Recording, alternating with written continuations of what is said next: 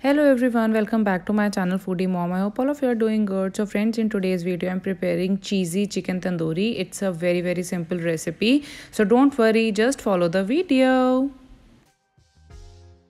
For this we need very few ingredients. Uh, one service spoon of mustard oil that is sarson ka tel. One teaspoon of chili flakes.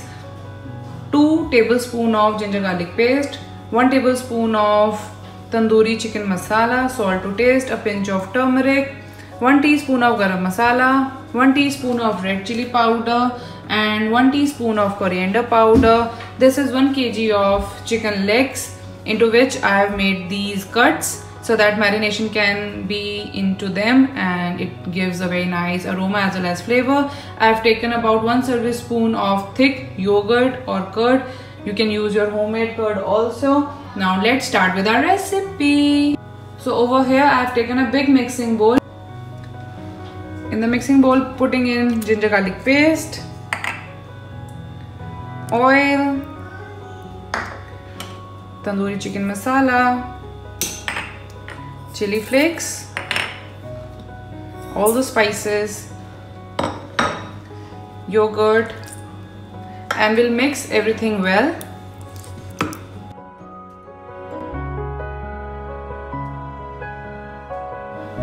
Putting in half serving spoon of lemon juice.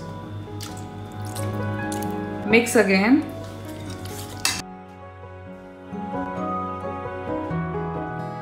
Over here our marinade is ready. Putting in the chicken legs.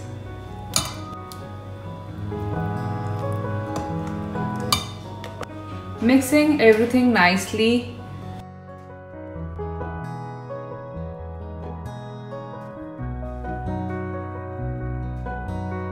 So over here your chicken is marinated and we'll keep it in fridge by covering it with a lid for about 24 hours.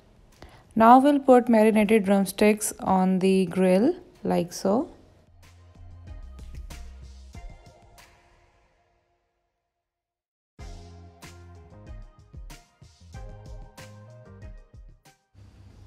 Once chicken is set on the grill, we'll oven it for about 30 minutes on 180 degrees.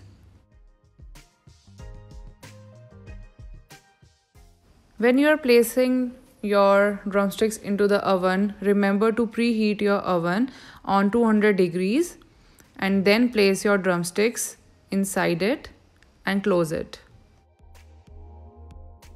After 30 minutes, we'll take out the chicken and in a bowl, I have mixed mozzarella as well as cheddar cheese. And in small small quantities I'll just spread the cheese onto the chicken pieces. You can use any chicken pieces that you like. And once the spreading of cheese is done we'll again put the chicken pieces into the oven at 180 degrees for another 15 to 20 minutes till the cheese melt. And here you go. You get your cheesy chicken legs or you can say cheesy chicken tandoori. And i really hope that you will like my recipe. If you do do not forget to subscribe my channel leave a comment and hit like. I'll see you next time with another video of mine. Till then take care. Bye bye